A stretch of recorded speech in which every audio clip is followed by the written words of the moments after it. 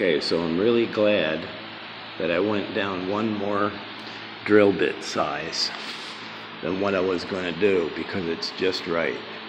I went from 7 64th to 330 seconds. And that's just getting a perfect bite.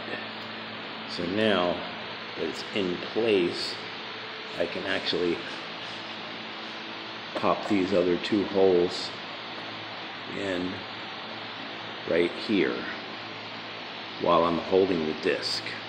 I'm going to drill these two pilot holes. Then we're going to goop it up and screw it on and we're almost done. Yippee! Going to need two hands for this.